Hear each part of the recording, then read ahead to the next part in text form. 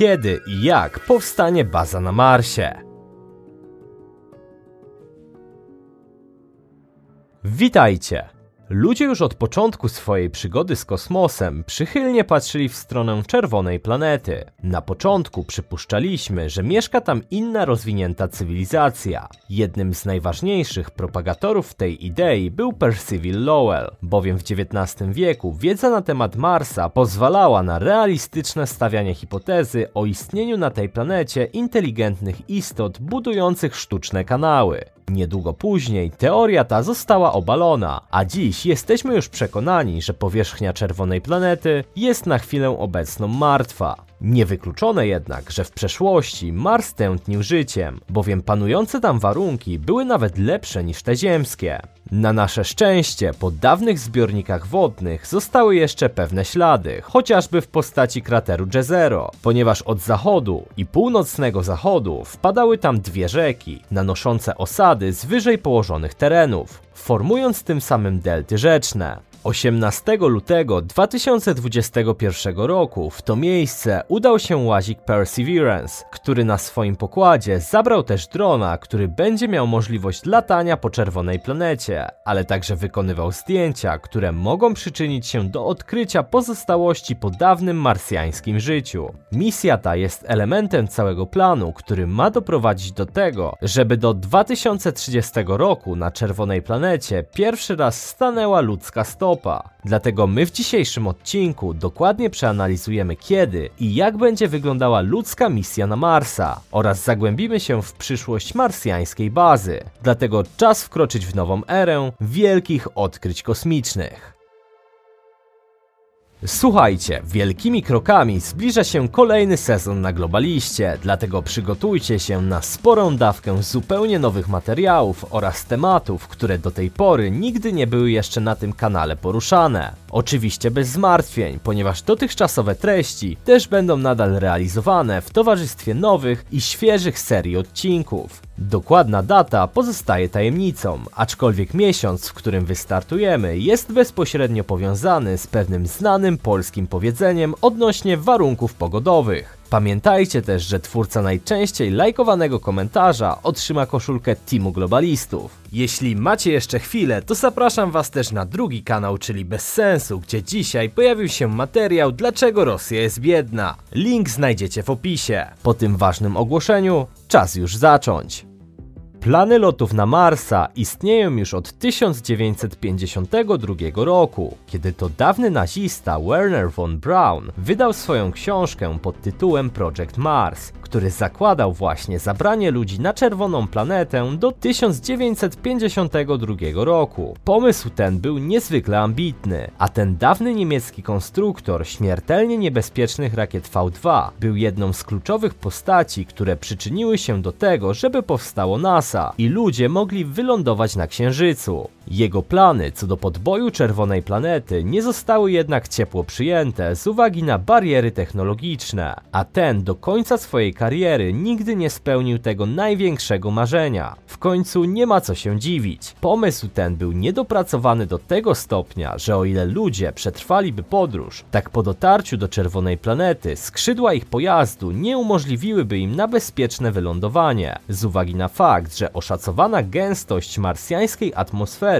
była ponad 10 razy mniejsza niż przypuszczano. Dodatkowo byłby to lot w jedną stronę z ponad 100 osobami, które dosłownie zostałyby w ten sposób skazane na śmierć. Od tych szalonych planów na szczęście minęło już trochę czasu, a nasze dzisiejsze pojmowanie nauki nieco się zmieniło, ale wciąż nie jest ono doskonałe. Wszyscy zapewne znacie Ilona Maska, czyli ekscentrycznego miliardera, którego posty na Twitterze nie tylko prowadzą do zawrotu głowy, ale mają też realny wpływ na rzeczywistość, która nas otacza. Jednak tak jak już wspominałem, Musk lubi czasem uwieść się woli fantazji i prawdopodobnie tak samo jest w przypadku tweeta, który napisał Pranchu Ag z pytaniem, czy SpaceX zabierze do 2050 roku milion ludzi na Marsa. Musk odpowiedział prostym tak. Jednak jest to bardzo optymistyczne i ciut nierealne założenie, bowiem kluczowym elementem, który ma to umożliwić jest rakieta Starship. Pojazd ten ma być super ciężkim transportowcem z możliwością jego ponownego wykorzystania, tak samo jak w przypadku rakiety Falcon, która po użyciu ląduje w wyznaczonym miejscu. Póki co Starship jest jeszcze na etapie prototypu, jednak będzie on wyglądać mniej więcej tak, jak teraz widzicie. Lecz testy z początku 2021 roku pokazują, że zdecydowanie technologia ta wymaga jeszcze dopracowania. Górna część będzie pojazdem wielokrotnego użytku, natomiast dół także będzie elementem do ponownego wykorzystania, ponieważ jego zadaniem będzie nadanie pozostałej części pojazdu odpowiedniej prędkości, a następnie oderwanie się i powrót do wyznaczonego punktu.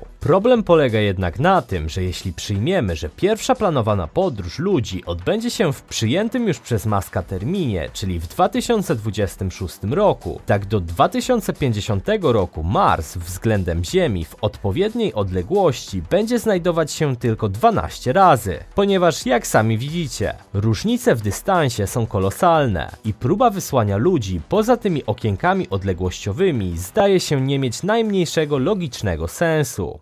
Jeśli jeden Starship będzie mógł zabrać na swoim pokładzie 100 osób, tak do realizacji tego projektu musielibyśmy wysłać łącznie 10 tysięcy takich misji, czyli za każdym razem jak tylko Mars zbliży się do Ziemi, w stronę czerwonej planety musiałoby lecieć minimum 833 statków kosmicznych i tyle samo wracać na błękitny glob. Jeżeli dodamy do tego fakt, że Musk uważa także, że na każdą jedną wyprawę potrzebne by było 10 dodatkowych Starshipów z zaopatrzeniem, tak liczba kursów, jakie musiałyby polecieć w stronę Marsa, zwiększyłaby się do ponad 100 tysięcy takich pojazdów. Nie wiem jak wy, ale ja póki co nie wyobrażam sobie, żeby było to w ogóle możliwe do zrealizowania przy tej kalkulacji. No dobrze, ale zastanówmy się teraz jak konkretnie będzie wyglądała baza ulokowana na czerwonej planecie. Pierwszym podstawowym problemem jest utworzenie bezpiecznego miejsca do życia, w którym ludzie będą mogli prowadzić badania.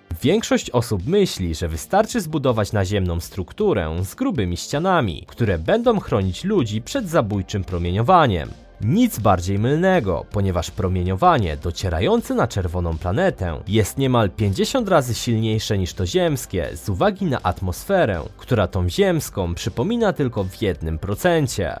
Astronauci narażeni na aż tak silne promieniowanie po około 3 latach pomimo zabezpieczeń mogliby dostać raka lub już wcześniej zachorować na chorobę popromienną. Z tego powodu najbardziej rozsądne byłoby pokrycie habitatów przy użyciu zamrożonego dwutlenku węgla, a następnie zakopanie ich przy użyciu marsjańskiej gleby lub budowa od początku pod powierzchnią planety. Jeśli uda nam się uporać z tym kłopotem, lista kolejnych jest jeszcze bardzo długa. Z uwagi na odległość Marsa od Słońca, która jest nieco dłuższa niż w przypadku błękitnej planety, ludzie będą potrzebować coś nieco lepszego niż tylko panele słoneczne, ponieważ ilość docierającej energii będzie o 60% mniejsza niż ta w przypadku Ziemi, a liczba procesów, które będą wymagały sporej ilości energii, nie kończy się tylko na dwóch lub trzech takich czynnościach.